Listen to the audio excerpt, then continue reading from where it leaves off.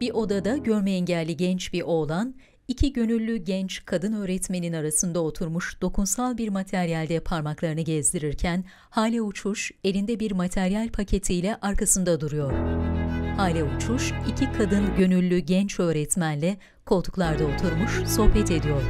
Matematik mükemmel bir eşitleyici ise herkes için de eşit olmalı diyerek kendi hayatındaki engellerden de yola çıkan Hale Uçuş 2017 yılında Engelsiz Matematik Eğitim Platformu'nu kurdu.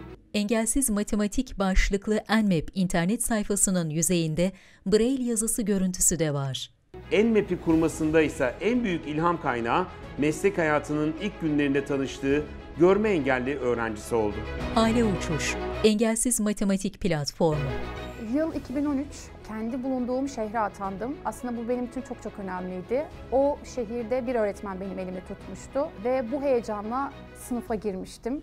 Klavyeye dokunan parmaklar. Bir yandan tedirgin, bir yandan çok heyecanlı, farklı duygular içerisinde günaydın dedikten sonra yoklama almaya başlamıştım. Bir öğrenciye sıra geldiğinde sınıfta ses yoktu. Sınıfta herkes bir öğrenciye sesleniyordu. Ne olduğunu anlayamadım. O anda ben de tedirgin oldum. Sınıfta sesler vardı, görmüyor hocam. O noktada dedim ki nasıl yani? Ben matematik anlatacağım. Kafamda bin bir türlü sorularla çıkmıştım.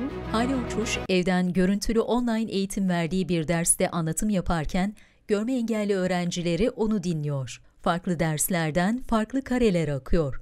Hale Uçuş anlatmaya devam ederken öğrenciler her derste değişiyor. Hale, Enmap'le fırsat eşitliği temelinde görme engelli bireylere ve bireylerle etkileşim halinde olan öğretmenlere ve ailelerine matematik öğrenimini ve öğretimi konusunda destekleyici eğitimler, erişilebilir materyaller ve içerikler sunmayı hedefliyor. 2017 yılında kurduğum Engelsiz Matematik Eğitim Platformu sayesinde görme yetersizliği olan öğrencilere matematik derslerini veriyor ve en önemlisi gönüllü öğretmenler ile birlikte bu platformda farklı sınıf düzeylerinde matematik derslerinin sürdürülebilirliğini sağlıyoruz.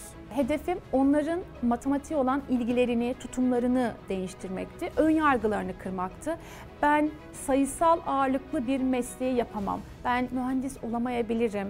Ben matematik bölümünü okuyamayabilirim diyen çok öğrenci ile karşılaştım. Aslında bu sorular benim de aklımda vardı ama çocuklardaki ilgi ve istek beni oldukça heyecanlandırıyordu. Kerem Aktan, öğrenci.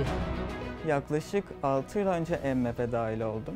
EMMAP sayesinde matematiği daha iyi yapmaya ve anlamaya başladım. Bence görmeyenler için matematik eğitimi çok önemli çünkü çoğu görme engellinin hayallerine ulaşmasını sağlıyor aslında ve her şey yapabileceklerini hissettiriyor. Hale Uçuş dokunsal materyalleri bir defterin üzerine dizdi. Hale, derslerine katılan öğrencilerin ebeveynlerinin dokunsal materyaller hazırlayabilmesi ve bu sayede çocuklarının dersten en iyi şekilde faydalanabilmesi için Dokunsal Anneler grubunu da kurdu. Dokunsal Anneler adlı Instagram sayfasından birkaç fotoğraf geçti.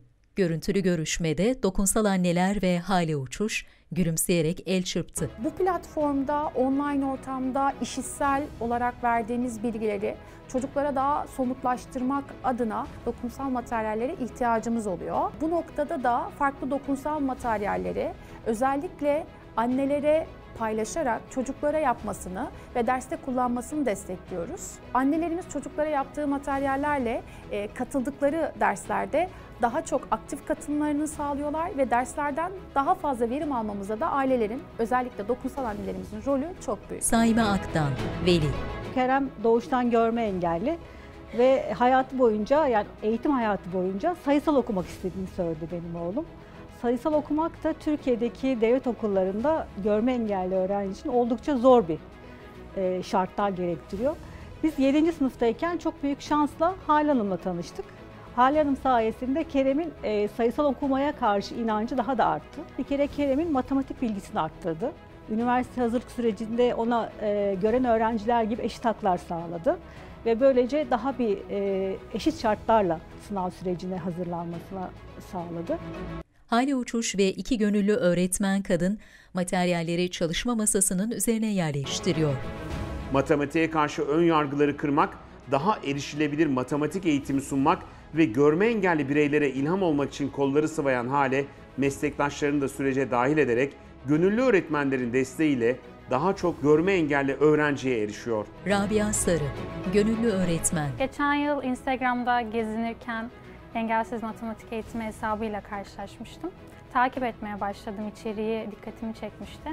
Sonrasında uzaktan eğitimde e, öğretmen aradıklarını gördüm ve başvurmak istedim. Başvurmamdaki motivasyonum aslında her öğrencinin e, matematik öğrenebileceğine inancımdan dolayıydı aslında. Her öğrenci hangi yetersizliğe sahip olursa olsun matematik öğrenebilir. Bu yüzden e, fırsat tanımamız lazım. Bilinçli olmamız gerekiyor. Sabancı Vakfı'ndaki Fark Yaratanlar lansmanında koyu renk uzun saçlarına at kuyruğu yapmış, üzerinde krem rengi bir pantolon ve ceket olan Hale Uçuş, Cüneyt Özdemir'in davetiyle sahneye çıktı. Tokalaşıp bistro masada Cüneyt Özdemir'in karşısındaki yüksek sandalyeye oturdu. Çalışmalarıyla bugüne kadar 250'den fazla görme engelli öğrencisi oldu ve 30'dan fazla öğretmene ulaşan Hale Uçuş, Engelsiz Matematik Eğitim Platformu aracılığıyla oluşturduğu erişilebilir materyaller ve içerikler sayesinde görme engelli öğrenciler, öğretmenler ve ailelerin hayatında nesiller boyu unutulmayacak kocaman bir fark yarattı. Farklı fark yaratan videolarından kareler akarken Sabancı Vakfı Fark Yaratanlar yazısı belirdi. Fark kelimesinin yanında parlayan sarı bir yıldız resmi var.